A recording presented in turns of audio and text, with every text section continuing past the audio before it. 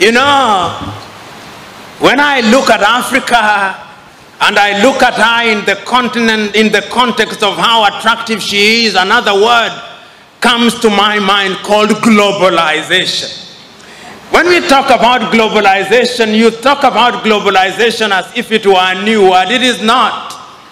Africans were once globalized as a commodity in the slave market. We were sold everywhere in the world. That was globalization. that was globalization. Then we were globalized again through colonization. Then we were globalized again through neo-colonization. Now we are being globalized in the context of opening our markets. It is Mwalimu Julius Kambarage Nyerere who in one of his many enlightened moments said, when I hear the Europeans saying that we should open our markets in the name of globalization and they say that the rules are the same, I laugh, Mwalimu said. And he said, it is like a boxing match. The rules are the same. But you don't put a heavyweight boxer and a lightweight boxer and say the rules are the same. It is murder.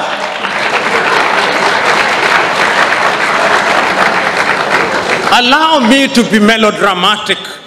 You imagine the United States of America with a GDP of anything between 14 trillion and 15 trillion is now entering into a bilateral arrangement with Lesotho, whose GDP is two, 2 billion.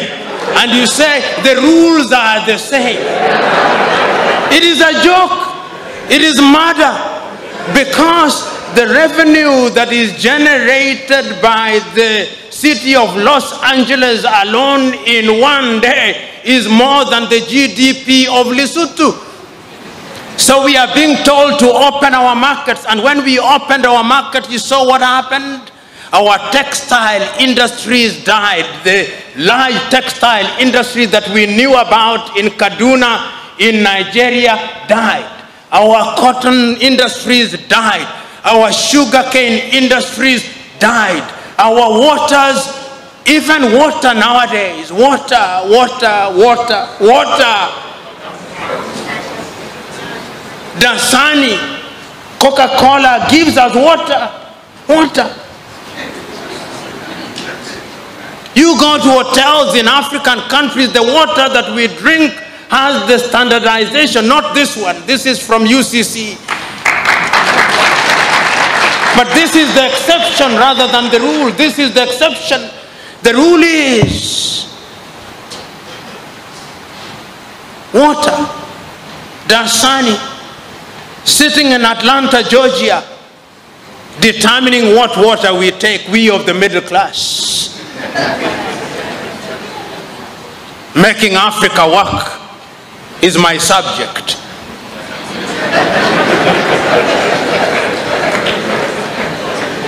what will we, what will it take? It will take our combined effort. But there must be an enlightenment of a totally different character. You know, when I think about Africa and I think about her often, and I ask myself, Mother Africa,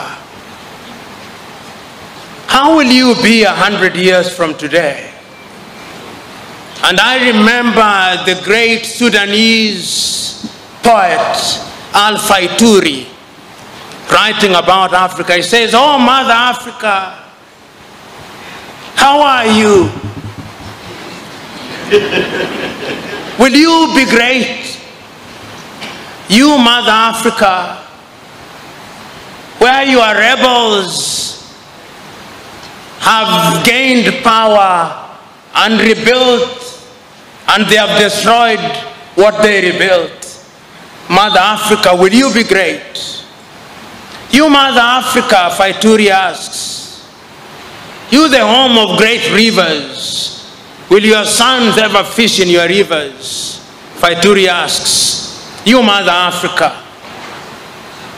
whose belly is laden with all things known as natural resources, will you ever give meaning to them? Faituri asks, Oh, Mother Africa, are you waiting for Godot?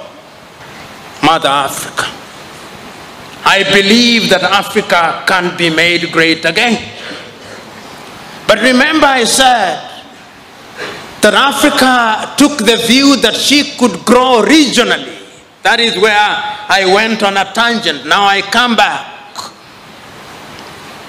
So the East African community was there, South African development community was there, we had COMESA, we had IGAD, we had we have ECOWAS, we had Central African Organization, we had the Maghreb, we had the Sahelians. All these attempts have been made, and somehow Africa is still punching below her weight. Let us look at the different sectors so that we are better able to appreciate what Africa can be. And I believe that Africa can be great. I believe that Africa is capable of looking at our agriculture because if a people cannot feed themselves, they cannot be at the dinner table of civilization. Today, Africa cannot feed herself. Here in Ghana, they love rice. They produce a little and import most. Here in Ghana, they love ketchup but I suspect they import some. Here in Ghana, they love chicken. They produce some, but I suspect they import some.